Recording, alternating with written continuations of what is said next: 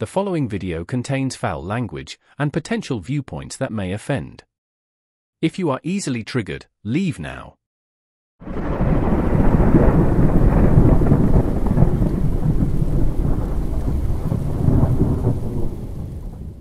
So here we are. New setup, new logo. Same old attitude. So buckle up, Buttercup. The Peacekeeper has a pretty straightforward statement to kick this one off. We get called fascists, alt-right, and misogynists because we believe there are two biological reproductive genders.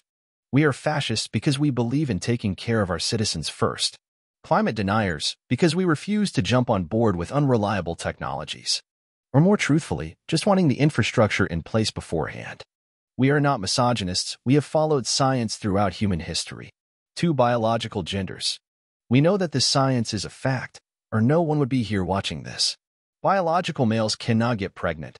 Full stop. We are not alt-right. We use common sense.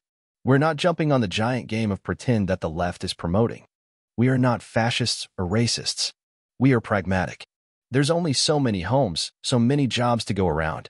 So do the fucking math. If the conservative-leaning able-minded thinkers in the world were to employ the tactics and dogma used by the left, it would be looked upon as a splintering of the country. An uprising of what the left likes to call maple maga. Hate speech, mis or disinformation. Our present prime minister has taken all but utter delight in dividing this country, keeping us at each other's throats for his own personal gains. He has shown utter contempt for anyone refusing to fall into lockstep with his watered-down Great Reset and we have fallen into the trap, allowing ourselves for far too long to be marginalized, to be called names, to be looked down upon by him and his elitist cadre. However, the silent majority, those he has spent years demonizing, are waking up and speaking up. The time of sitting back and waiting for it to pass is gone now. Not even a change in leadership will help the Liberals, or NDP. Canadians can see it's not just the leaders, but the entire parties that need their own reset you can call us what you fucking want. Make us the goddamn boogeyman of progressive values. I am now more than all right with that. Because you, Justin, have made a grave political error.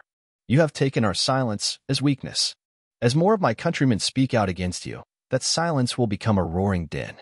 Many of us serve this country, putting ourselves either in harm's way or standing ready to do just that. My question is this. What have you done to serve this country, Justin? Peacekeeper, over and out.